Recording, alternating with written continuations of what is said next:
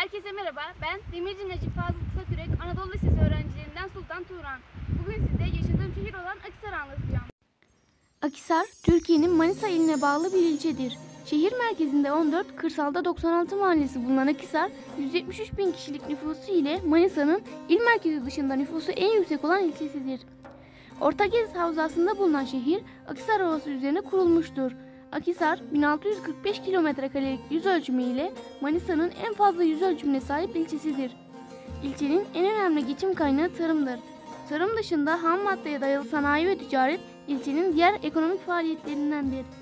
İlçe topraklarının %47'si tarım arazisi olarak kullanılırken bu arazilerde daha çok zeytin ve üzüm üretimi gerçekleştirilmektedir.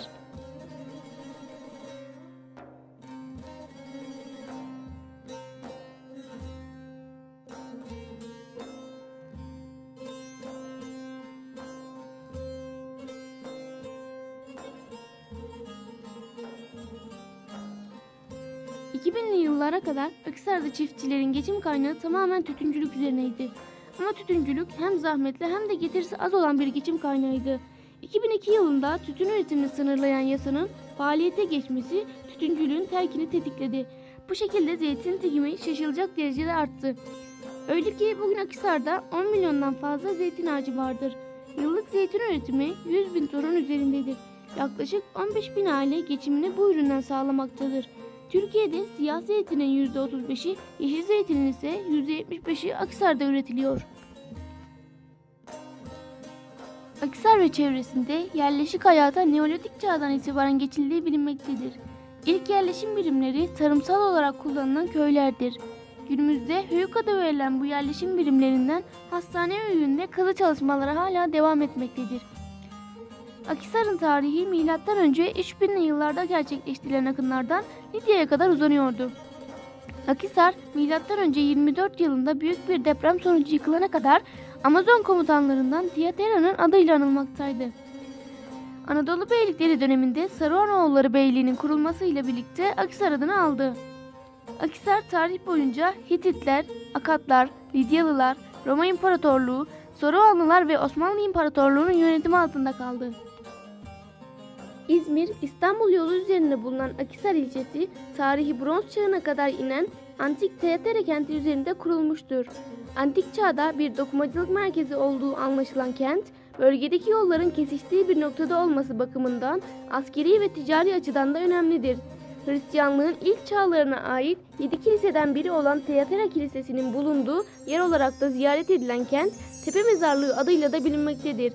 Şehir merkezinde açık hava müzesi olarak faaliyet gösteren antik kent, dinsel turizm açısından da önemli bir potansiyele sahiptir. 11 bölümde 1451 eserin sergilendiği Akhisar Müzesi ilk kez 2012 yılının Ağustos ayında faaliyete geçmiştir. Arkeoloji ve etnografi olmak üzere iki bölümden oluşmaktadır. Arkeolojik seksiyonda fosiller, idoller, el aletleri, seramik, gümüş kap, altın buzağı, yağ kandilleri ve mezar stelleri ve cam eserler sergilenmektedir. Tarihi önce 500'lere inen aslan başlı küpe, altın yüzük, kolye, Hristiyanlık dönemine ait günlük alet ve eşyaları da barındırır. Müzenin etnografya bölümünde ise cam kase, tabak, sürahi gibi günlük gereçler, Osmanlı döneminde kullanılmış gaz lambaları ve günlük kullanım eşyaları, tabanca, tüfekler ve kılıçlar bulunmaktadır. Ayrıca yöresel kıyafetler ve bölgeye ait el işi halılar da sergilenmektedir.